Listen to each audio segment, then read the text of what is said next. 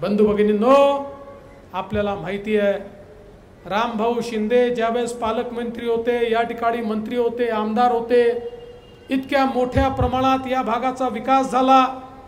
खूप मोठ्या प्रमाणात निधी त्यांनी आणला वेगवेगळ्या प्रकारची कामं केली. डॉक्टर सुजय विखे पाटील यांनी केंद्र सरकारकडनं मोठ्या प्रमाणात इन्फ्रास्ट्रक्चरचे पैसे आणले रस्त्यांचे पैसे आणले रेल्वेचे पैसे आणले वेगवेगळ्या प्रकारची कामं या जिल्ह्यामध्ये आणि या भागामध्ये आपल्या नेत्यांच्या माध्यमातून झाली. आणि आज आपण पाहतोय की या ठिकाणी मागच्या विधानसभेमध्ये आपण दुसरे आमदार निवडून दिले. त्यांना निवडून दिल्यानंतर या ठिकाणी बोल बच्चनशिवाय तुम्हाला काहीच मिळालं नाही. आजही बघा पुन्हा आपलं सरकार आलं आणि सरकार आल्याबरोबर रामभाऊ शिंदे जसे आपले आमदार झाले पुन्हा कर्जत जामखेडमध्ये या ठिकाणी एम आय डी सी तयार करण्याचा विषय असो पिण्याच्या पाण्याच्या योजना असो रस्त्यांच्या योजना असो सगळ्या योजना या ठिकाणी सुरू झाल्या. आणि आता पुन्हा सांगतो रामभाऊंनी ज्या ज्या मागण्या या ठिकाणी केल्या आहेत रामभाऊ चिंता करू नका मी तुमचा बेरर चेक आहे.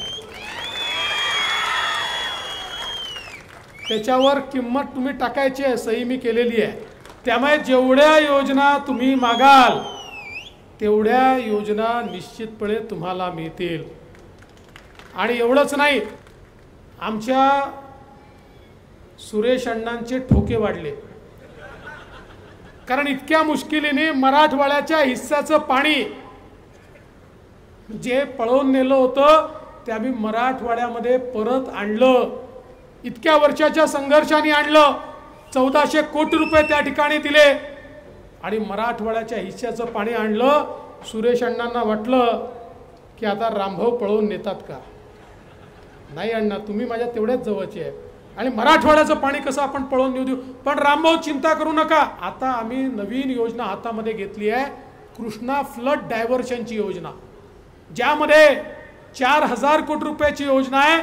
ज्या योजनेच्या अंतर्गत त्या ठिकाणी दरवर्षी पुराचं वाहून जाणारं पाणी हे आम्ही डायव्हर्शन कॅनलच्या माध्यमातनं या ठिकाणी सगळ्या दुष्काळी भागामध्ये मराठवाड्यामध्ये त्याचप्रमाणे या ठिकाणी आम्ही आपला जो पश्चिम महाराष्ट्राचा दुष्काळी भाग आहे त्या ठिकाणी आणणार आहोत. निश्चितपणे हे जे काही आपल्याला ॲडिशनल पाणी मिळत आहे मी तुम्हाला सांगतो आम्ही तात्काळ त्या पाण्यावर आपली योजना करता येईल का हे पडताळून बघू.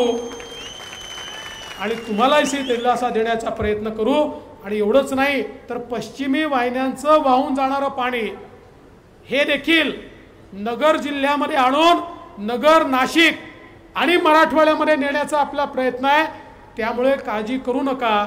आपण हे ठरवलं आहे येत्या काळामध्ये नगर जिल्ह्यातला सगळा दुष्काळ हा आपल्याला दूर करायचा आहे. आणि हे कसं करता येईल? हे करता येईल देशामध्ये मोदीजींचं सरकार आलं तरच. कारण इतके वर्ष वेगवेगळ्या ठिकाणी बंद पडलेले प्रोजेक्ट होते. आता आपल्या शिर्डी मतदारसंघामध्ये निळवंडेचा प्रोजेक्ट आहे. पन्नास वर्ष बंद होता. तो प्रोजेक्ट आपण पूर्ण करून दाखवला. याचं कारण आपल्याकडे मोदीजी आहेत. मोदीजींनी पन्नास हजार कोटी रुपये महाराष्ट्राला सिंचनाचे प्रकल्प पूर्ण करण्याकरता दिले. म्हणून आज सगळीकडे सिंचनाची कामं चाललेली आहेत. आणि वर्षानुवर्ष रखडलेली कामं ही आपण या ठिकाणी पूर्ण करतोय.